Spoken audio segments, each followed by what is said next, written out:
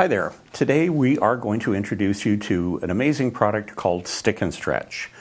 Interesting name, but a great product nonetheless. Stick 'N Stretch allows you to gallery wrap your own images. And by gallery wrap, we're talking about an image wrapping around the edge of a canvas stretcher bar, like we're showing here. As you can see, this is a nice panoramic format and just one of many, many options that you have with the Stick 'N Stretch system. There are two versions of Stick 'N Stretch. The narrow standard version, which is an inch and a quarter deep, and these are available up to 24 inches in length. And the professional version, which as you can see is considerably heftier, this is an inch and three quarters deep, quite a bit thicker, and these are available up to 60 inches in length. So you conceivably could do a five foot square gallery wrap, and it works exactly the same way. We're going to have two separate videos. The one we're doing at the moment is for the professional version of the sticks. The way that it works, you simply buy the sticks in the format that you need for the canvas that you're going to wrap. And we've got a lovely canvas here. This is going to be a square 12 by 12, and it's a very simple process. You mark on the back of the canvas where the actual image area is, and you can do that by just holding the image up to the light so you know the edges that you're going to work with.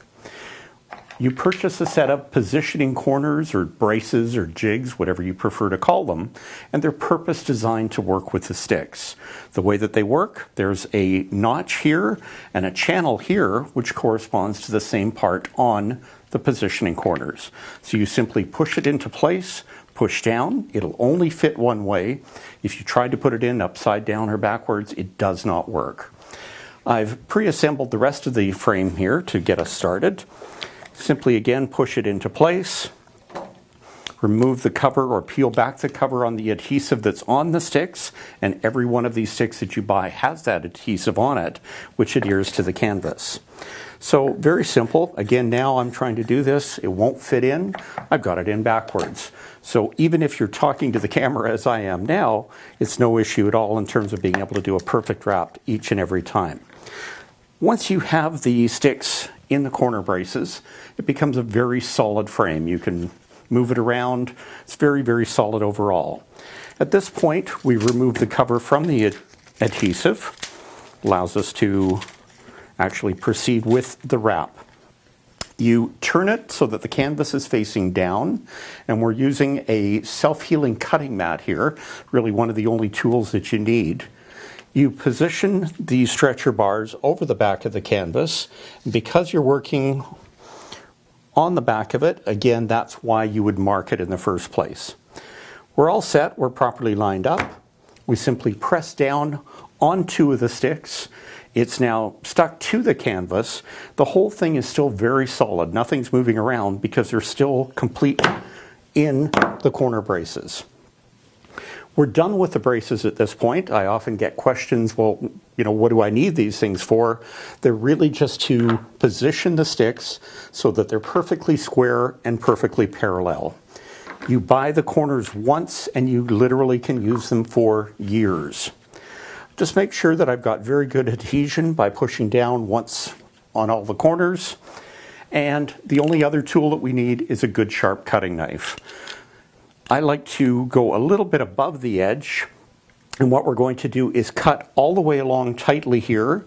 If you prefer, you can actually fold it over and staple the canvas, but this just gives you a nice clean corner. So we just come down once, come in slightly, Repeat that from the opposite corner. Cut your corner at a 45 degree angle and we fold it up. And I'll just turn that to the camera so that you can see we've actually folded the corners over. We repeat that process all the way around on all four sides. Just very, very simple. The thickness of the sticks allows you to get a nice clean cut. Again, just fold up on the corners. As you can see, I'm lifting the canvas rather than just sliding it along. Because we are dealing with little pieces of wood, I want to make sure that I'm not scratching the surface of the canvas by just swishing it around on the cutting mat. We do use an archival white glue as part of the process, and that goes right along the edge here as the canvas touches the sticks. The reason for that the canvas that we're using, and just about every canvas on the market, has a very high cotton component to it. And that cotton, in the right humidity conditions or variation of conditions, can actually stretch on you. And we want to make sure that we never pull away from the actual corner of the stretcher bars. Okay, we're ready now for the magic of what makes this a wrap. And it's very, very simple. You simply lift the two corners together, hold it in place, take your corner pins, which are supplied, and these look like regular staples, but they're not. They're just designed to be pushed in into the corners. The sticks are actually pre-drilled so that it works perfectly with it. No hammering required. The last two corners we pull apart just a wee little bit to make sure that we don't get any puckering. Lift it into place and take the last two pins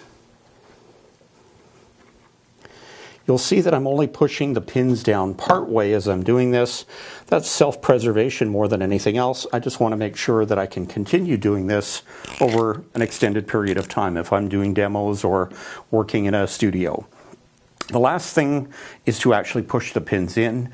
If you prefer to use a little mallet, that's fine. I just use the same Olfa cutter, push down, just make sure it's in nice and tight. And we're ready for the finished product, which is our gallery wrap. As you can see, it wraps all the way around. The corners look great. It's nice and tight like a drum, and it's simply the action of lifting up those corners that gives you that. We do supply corner braces with every pack of sticks that you buy, and the braces work in this little channel along the edge here. They're very straightforward. You simply push them into the corner like so. You really don't need it on an image this small, but they are supplied nonetheless. And I'll just go through the process so everyone's familiar with it. You do all four corners. I typically do cross corner just to make sure I'm getting my tensioning even. If you prefer, you can put a bit of a bead of glue along the edge of it, or I have some customers that even tap a small nail in. And you'll see at this point, it's even tighter than it was before. There's your finished gallery wrap with the Stick and Stack Stretch Professional system. Again, available from 8 up to 60 inch length, so you can take your creativity to its next level. Thanks, and stay tuned for the demo for the standard version of the sticks.